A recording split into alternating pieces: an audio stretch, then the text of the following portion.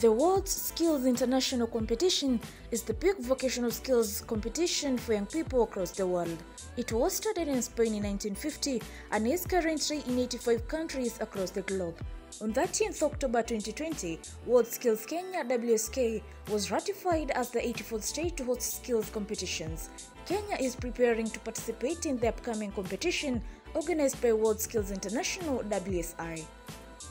The competition is not just about uh, who becomes number one or who becomes number two and so on, or who goes to the next stage. It's just an opportunity for us to assess ourselves in terms of where we are with regard to a certain skill. And um, if you have been here, then what you should take away is that uh, you now have had an opportunity to evaluate yourself and to be able to determine uh, what you need to do to get to the next level up want to thank you and also recommend that you also put a lot of effort. Uh, the, the, uh, our participation to China uh, in Shanghai has started. Your competence will give you the ticket to get there. And uh, today being the first activity for World in Kenya, we do wish that you put a lot of effort as pioneers that uh, by the time we are getting there, uh, we will be able to compete uh, with other nations, including the first world nations. I want to thank Dedan Kimathi again for, for having all this equipment and I believe the trainers, those will come to us as trainers in future will be, will be that. So I want to say that this is uh, something that should be encouraged and especially for the teacher, for those who are planning to be, to be educators, because our institutions need, need trainers who are hands-on. I've also learned something about Dedan Kimathi, and again, this is a myth. I have always heard that our institutions don't produce anything. I'm sure I'm right to a good extent, but I have learned that Dedan Kimathi produces quite a number of items we have designed a lot and manufactured several machines. Uh, we're also working on now, the next level is now manufacturing machine tools. These are tools which help machine makers. The tools you need to use to make other machines. Okay? So that's the level we are and uh, we already have all the skills. The difficult thing in manufacturing and the reason why we struggle in Kenya with manufacturing is lack of the manufacturing tools. There's no way we'll be industrialized if we are not able to our own machines. Somebody mentioned. And we are working on that. We, we have been able to design molds. Uh, interacted with this equipment.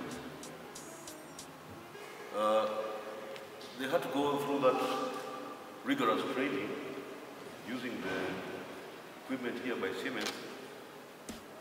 And as a judge, in this competition, having a background in electrical engineering, I, we really appreciated the level of progress that our trainees both at TVET and the university went through.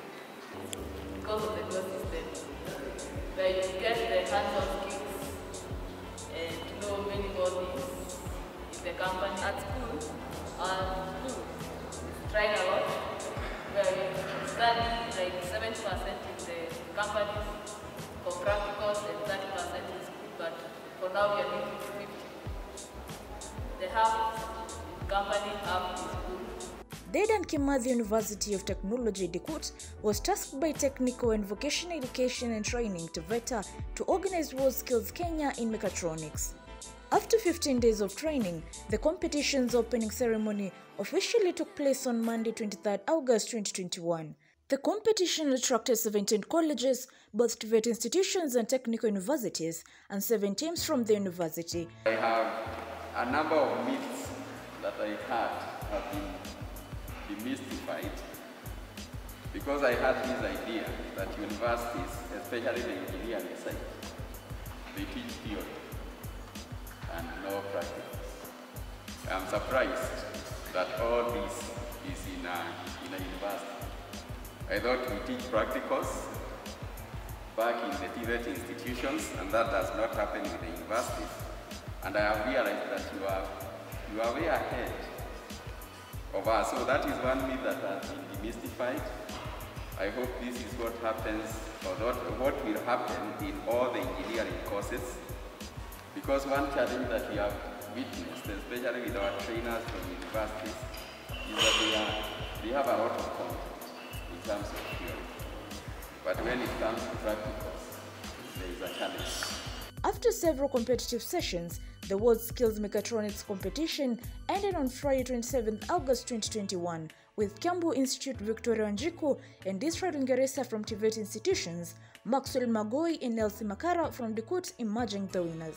Dekut's team scored 71.6 marks, while Kiambu Institute of Technology's team scored 49.04 marks. appreciate the fact that from what we are seeing from your presentation and what uh, um, Professor Bosco has explained, is, it is without doubt that uh, you have made some progress, that you have learned a lot, and that uh, you have benefited from this uh, competition.